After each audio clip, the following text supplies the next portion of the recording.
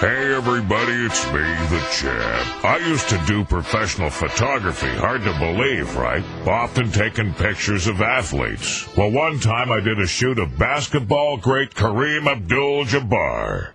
It was for a fashion magazine. Some pictures were of Kareem alone and others with him surrounded by beautiful models.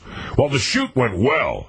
Uh, Knuckles Muldoon was helping me out. The female models were gorgeous, and Knuckles had a hard time concentrating and keeping his eyes in their sockets. I stayed cool and detached.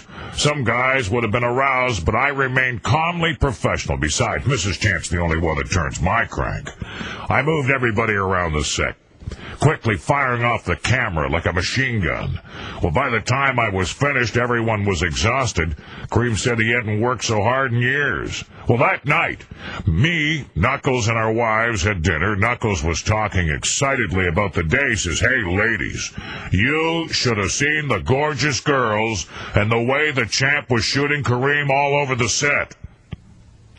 I said, pardon? He said, You were shooting Kareem all over the set. Lose it! Stop! Head fake him with a basket of rolls and the doughhead goes for it. Shot to the head close up of a fist to the eye and a flurry to the bread basket. He's under the table. I said, How's that, Knuckles? Is that you were shooting cream all over the set enough for you? Ever since I've been the champ.